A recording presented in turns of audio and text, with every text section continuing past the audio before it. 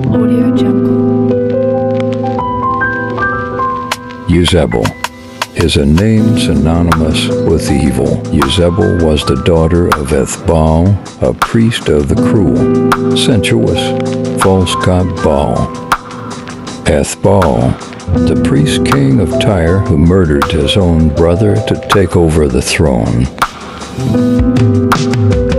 Jezebel's strongest enemy was the great prophet Elijah, who defied her and opposed her evil rule. This culminated in a contest on Mount Carmel between the powers of Israel's true God and the Baals.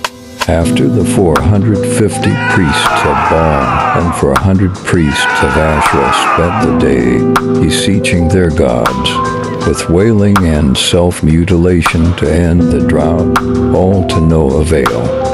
Elijah prayed to his omnipotent God, who responded by accepting the sacrifice, having the false prophets slaughtered, and providing an abundance of rain.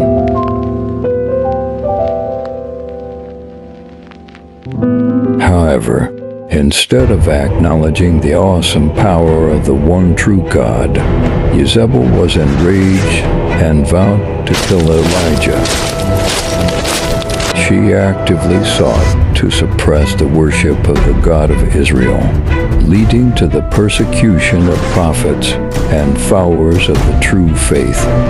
One of the most notorious acts associated with Jezebel is the conspiracy to seize the vineyard of Naboth, an innocent man who refused to sell it to King Ahab Jezebel plotted to have false witnesses testify against Naboth.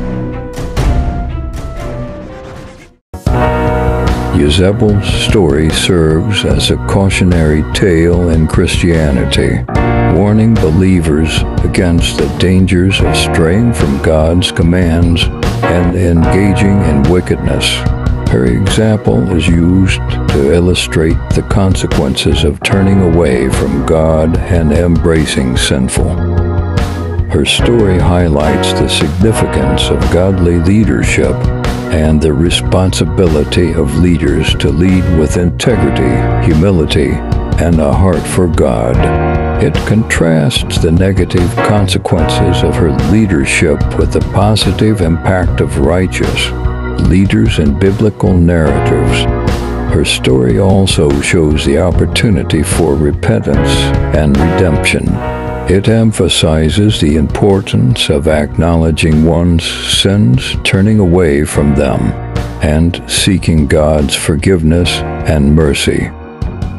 Despite her influence as queen, Jezebel's power and wickedness were eventually brought to an end this reminds believers that worldly power and influence are temporary, and true lasting significance comes from living a life aligned with God's will.